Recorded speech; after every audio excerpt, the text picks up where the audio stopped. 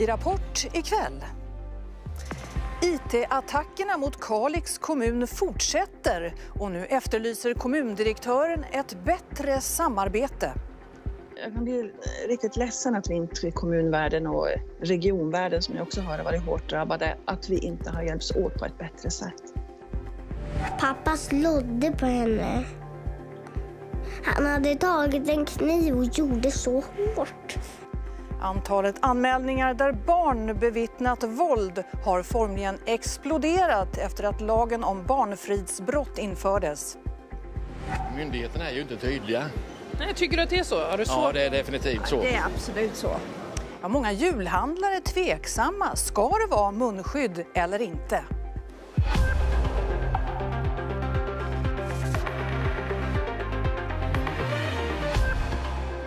Välkomna till Rapport. Ja, samtidigt som Kalix kommun nu arbetar hårt för att få upp IT-systemet igen så utsätts kommunen alltså för nya IT-attacker. Och kommundirektören vill nu se ett bättre samarbete mellan kommuner och regioner för att förbättra IT-säkerheten. Vi, vi eh, utsätts fortfarande för attacker. Vi har ju stängt ner allting men vi ser att det fortsätter att komma mot oss. Sedan torsdagens hackerattack som slår ut IT-systemen kämpar kommunen dygnet runt med att få igång allting igen samtidigt som attackerna fortsätter. Och ute i verksamheten sker nu allt arbete analogt med papper och penna. Men det finns ljusglimtar, som att decemberlönen sannolikt kommer kunna betalas ut som planerat. Också igång ett annat titthål så att vi kommer åt våra journaler och medicinlistor. Det är en enorm framgång. Hur mycket pengar utpressarna kräver är oklart. Kommunen har inte klickat sig vidare på den länken där lösensumman anges. Förstå sig på säger att det är spannet 10 till 15 miljoner. Snabb digitalisering har lämnat kommuner sårbara och det krävs ett bättre samarbete för att öka skyddet. Jag blir riktigt ledsen att vi inte i kommunvärlden och regionvärlden som jag också har varit hårt drabbade, att vi inte har hjälpts åt på ett bättre sätt. Det, nu, nu, har många chansen, när de hör vad vi drabbas av, har många chansen att stänga. Det tar den där checklistan, hur ser det ut hos oss? Man säkerställer de här elementära sakerna och så fortsätter man att gräva neråt. Samtidigt har man varit naiv och levt i det förgångna när det kommer till hot. Jag, jag, jag har sagt att sista eh, övningen jag hade det var att det skulle komma tanks från Finland och eh, vi hade, eh, på gatan hade vi faktiskt riktiga soldater sprang ute och lekte med gevär. Det var inte den övningen vi hade behövt ha tror jag. För hur mycket enklare är det inte bara att slå av en strömbrytare? Sedan den 1 juli är det brottsligt att låta barn bevittna och uppleva våld mellan närstående. Och sedan lagen infördes så har antalet anmälningar om barn som vittnar om just det här formligen exploderat. Över 3 000 polisanmälningar har gjorts och nära 200 åtal har väckts när barn nu kan förhöras av polis utan föräldrarnas godkännande. Det här visar en sammanställning som SVT har gjort. Pappa slådde på henne. Han hade tagit en kniv och gjorde så hårt. Jag är rädd och springer på toa. Sen lagen om barnfridsbrott trädde i kraft den 1 juli i år är det straffbart att låta barn bevittna våld i hemmet. Det innebär att den som slår sin partner framför ett barn gör sig skyldig till både misshandel och det nya brottet barnfridsbrott. Eh, det här är en situation som inte några barn ska behöva vara med om att komma till förhör. Så därför så måste det vara det tryggaste som finns, det bästa för barnet. Och det är alltid för oss. Barnets bästa i fokus är det viktigaste för oss. Vi är i Göteborg på ett barnahus, den plats där barnförhören hålls. Sofia Myrén är polis och specialutbildad i att hålla barnförhör. Eh, ja, men nu sitter vi i ett medhörningsrum. Eh, och här finns ett bord och eh, här finns en skärm som visar rummet bredvid här som är barnförhörsrummet. Sen har jag förklarat för barnet innan att vi kommer spela in, det kommer finnas kameror. En framifrån, en från sidan här, då syns du lite bättre, och en uppifrån. Men sen ligger de ju ner och gör kullerbyttor och visar också gärna. Barn visar väldigt gärna hur saker och ting har skett i hemmet. Och det är inte fel alls att vi får se den barnens egna berättelse över det våld, det slag som gjordes. Men framförallt så skickas ju den här bilden också över till medhörningsrummet bredvid. Det är det här som kommer komma ut i rättegångssalen. Så att det täcker det som skulle ha sagts muntligt. Antalet barn som kommer till barnahus har ökat explosionsartat sedan lagen kom. Det beror på att det numera är tillåtet att förhöra barn som bevittnat våld utan föräldrarnas godkännande. Det är för oss revolutionerande att kunna gå så mycket längre i utredningar inom våld som sker i hemmet.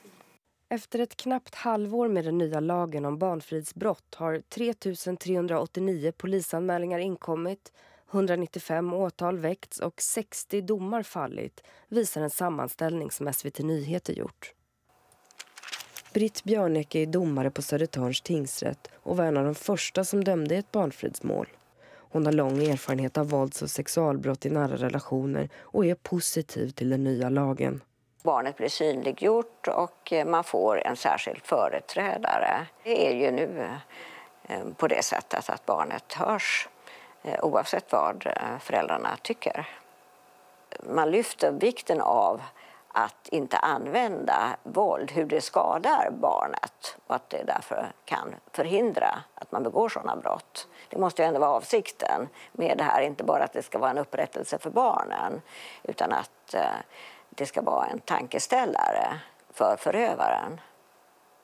Barn som har bevittnat våld kontinuerligt i hemmet lever med en ständig oro dag och natt. Det är när de är i skolan, det är när de är på fritiden någonstans, när de är hemma och även när de försöker sova. Rädslan över att mamma kan bli ihjälslagen. Den oron hämmar ett barn i ens utveckling, i ens lek. Det brister otroligt mycket. Det kan ge jättemånga konsekvenser. Om inte annat så är det långt, långt senare i livet det kommer fram också.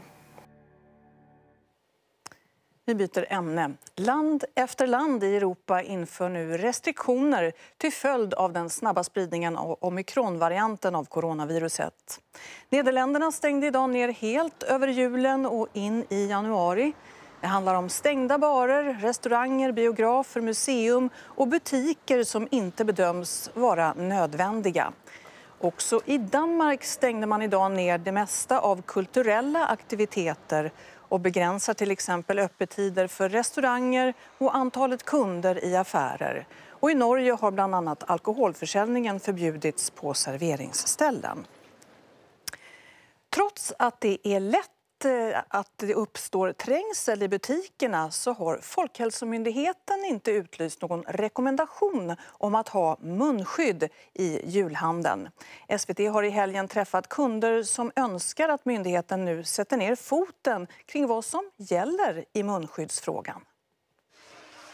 Kunderna ska kunna hålla avstånd har Folkhälsomyndigheten sagt. Men trots det uppkommer en hel del trängsel i julhandeln. Det här har gjort att vissa väljer att bära munskydd trots att den rekommendationen endast gäller för resor med kollektivtrafiken. Du har munskydd på dig. Varför väljer du att ha det? Eh, så att jag ska kunna åka hem och träffa min familj under jul. Ta det säkra för det osäkra. Varför har du munskydd? Ja, man skyddar sig och skyddar andra. Och det är mycket folk, tycker jag. Jag har både haft corona och är dubbelvaccinerad så jag känner mig rätt lugn. Och när det gäller munskydd, vad tänker du kring det? Att jag inte tror att det gör så stor skillnad. Det är bättre att hålla sig hemma om man inte är frisk. Jag tror att det är bra att det är obligatoriskt. Jag har varit ute och rest en del under hösten och alltid munskydd då. Eh, nu har jag inte det. Jag åker kommunalt har jag det, men idag hade jag inte det. Men det tycker jag att jag skulle ha det om det var krav liksom. Eh, myndigheterna är ju inte tydliga. Nej, tycker du att det är så? Har du svårt? Ja, det är definitivt så. Det är absolut så. Hade ni föredragit att man bestämde hur ja. ni skulle bete Ja, det tycker jag. SVT har frågat Folkhälsomyndigheten varför man inte rekommenderar munskydd i samtliga situationer där det lätt uppstår trängsel. Det blev ingen intervju, men i ett mejl skriver de att munskydd rekommenderas i kollektivtrafiken eftersom alla inte har möjlighet att använda andra färdsätt. I offentliga miljöer rekommenderar myndigheten alla att hålla avstånd. Men trots rekommendationerna ökar nu fallen av covid i flera regioner. Samtidigt pågår en influensaepidemi där fallen på sjukhus blir allt fler. Smittskyddsläkaren Maria Rotsén Östlund menar att vården är på väg in i ett mycket påfrestat läge och att alla nu måste göra sitt yttersta för att bromsa smittspridningen. Jag vet inte varför man går in och trängs, för det finns ju sätt att handla utan att trängas. Man kan välja andra tider om man har möjlighet. Man behöver inte gå in hela familjer eller hela sällskap. Det har jag själv sett när jag varit ute och handlat lite julklappar att det är ganska många som kommer in och man kan ju faktiskt undvika det. Blir du besviken på medborgare som inte anstränger sig för att hålla avstånd? Jag vet inte om besviken är rätt ord, men jag skulle just nu vilja att vi alla gjorde allt vi kan för att hålla smittan nere. Och inte minst för våra samhällsbärande funktioner som har kämpat så mycket under de här åren så att de orkar. Jul och nyårshelgerna kan innebära stora problem för den som lider av en ätstörning eftersom man då samlas runt julmaten och bryter många av de rutiner man har. Och på Riksorganisationen mot ätstörningar ökar antalet samtal efter helgerna. Johanna Ahlsten var sjuk i tonåren och är en av dem som tycker julhelgen var svår. Och en julbock, vad kul! Allt inplastat dock. Det var ju kanske den värsta tiden på året. Jag tror att jag verkligen egentligen verkligen ville ha det bra. Och så blev det inte så. Det här blir kul. Johanna Ahlsten insjuknade i anorexia som tonåring.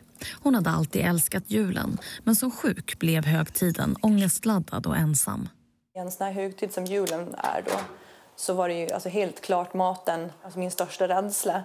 Det var inte alls den maten som jag åt eh, annars. Och mat hela tiden, alltså det blir andra vanor. Jag mådde väldigt dåligt eh, under julhelgen. På Riksorganisationen mot ätstörningar, Frisk och Fri märks det att julhelgen är tuff för många.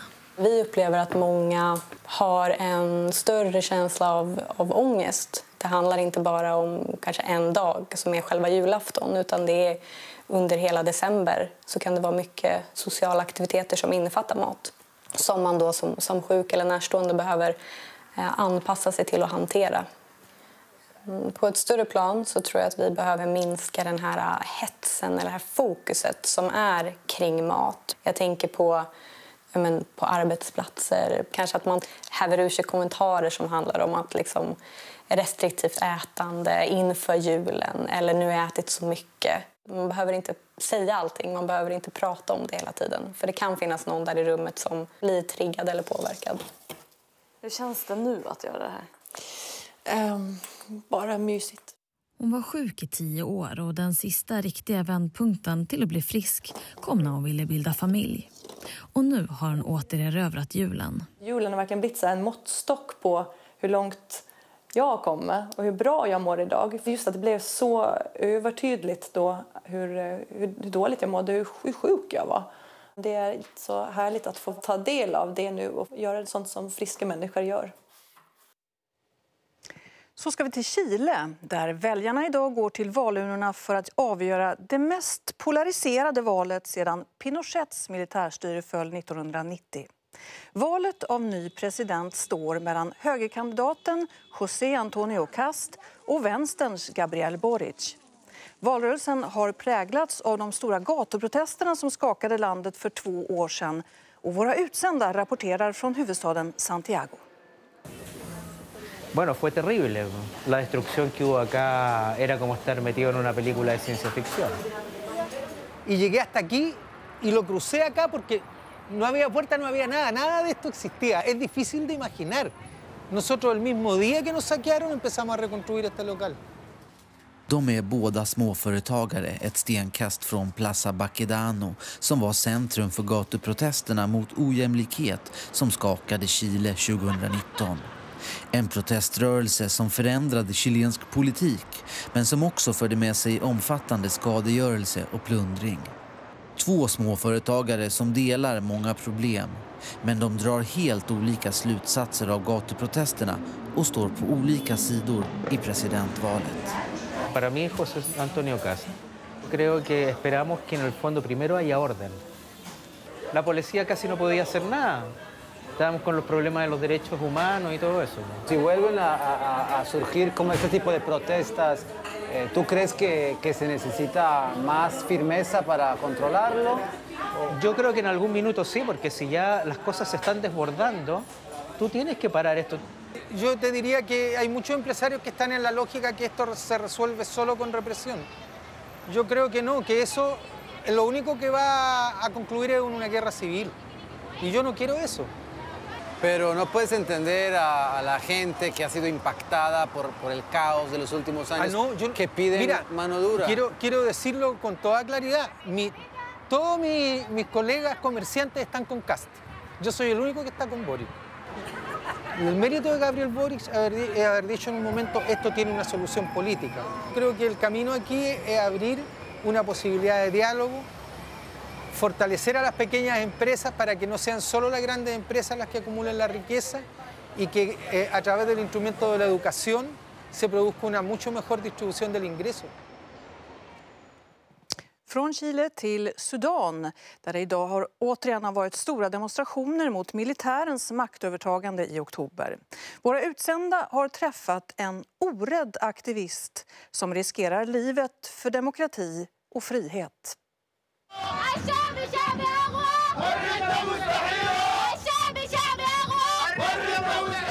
Hon är liten och tunn, men försöker ändå flytta berg. Sara Hamdan tänker inte ge sig förrän militären lämnar makten. Samma dag som militärkuppen ägde rum den 25 oktober gav hon sig ut på gatorna. Och sen dess har hon fortsatt protestera. عشان الحرية والسلام والعدالة عشان نعيش في وطن حر ديمقراطي فيه سلام فيه ننعم بحرياتنا وأبسط متطلبات الحياة أن إحنا ما لاقينها Sara är 28 år och arbetar som revisor. Men den senaste tiden har jobbet fått stå åt sidan när hon varit ute och demonstrerat. Idag är hon här med sin väninna. مفتكرين إنه نحن ضعيفين وما عندنا إرادة لكنه غلطانين ما ده ما حيصمدوا طويل I'm sure اوكي بدي اضرب باي Tear gas. En månad efter kuppen återinsatte militären premiärministern. Men militären behåller styrningen av regeringen och därmed den egentliga makten. Demonstranterna här tar stora risker, de är oerhört modiga. Just nu så skjuter eh, säkerhetsstyrkorna tårgas och de kan också börja skjuta skarpt.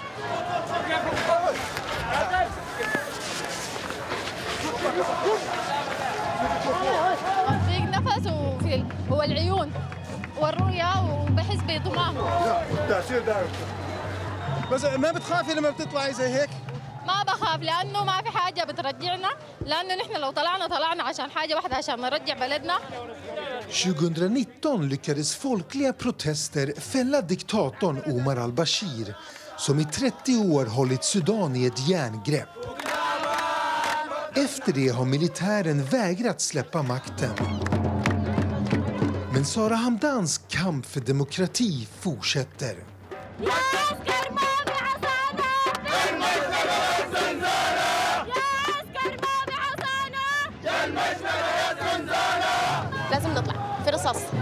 اول ما يبدا الرصاص حيكون في خمع حتكون في اصابات Tillbaka till Sverige. En 35-årig vårdanställd på Värnamo sjukhus fick lindriga brännskador vid en explosion på akutmottagningen natten till idag. Mannen och sju andra vårdanställda befann sig tillsammans med en patient i ett rum när en syrgastub plötsligt exploderade och orsakade en brand och rökutveckling. Akutmottagningen evakuerades och fick hålla stängt hela natten men kunde öppna igen i eftermiddags. Eh, det är fruktansvärt allvarligt för att eh, syrgastuber används ju bara på de allra svårast sjuka patienterna och eh, det är, eh, betyder ju att det är en risk för skada på patient och eh, risken för större skador var ju givetvis oerhörd. Så att eh, det här kommer att utredas in i minsta detalj för att det aldrig ska återupprepas vare sig på det här sjukhuset eller på något annat sjukhus i Sverige.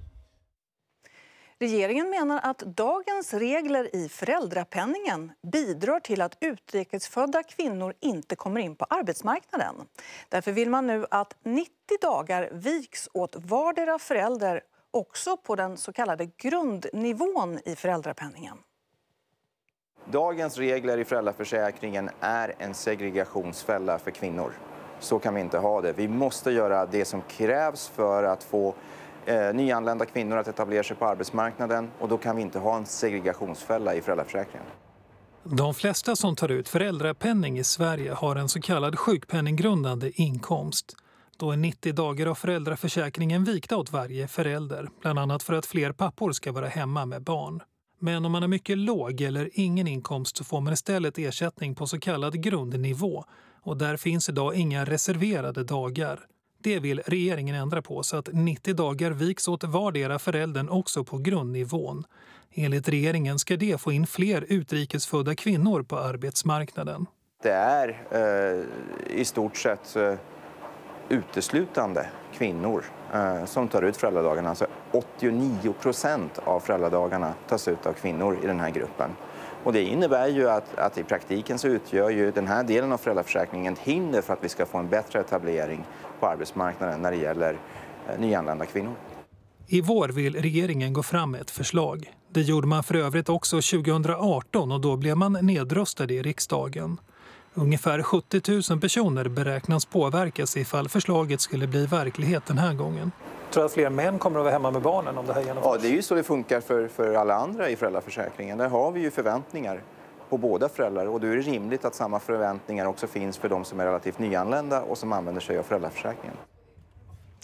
Om ganska exakt en timme avslutas årets upplaga av välgörenhetsevenemanget Musikhjälpen på Gamla torget i Norrköping.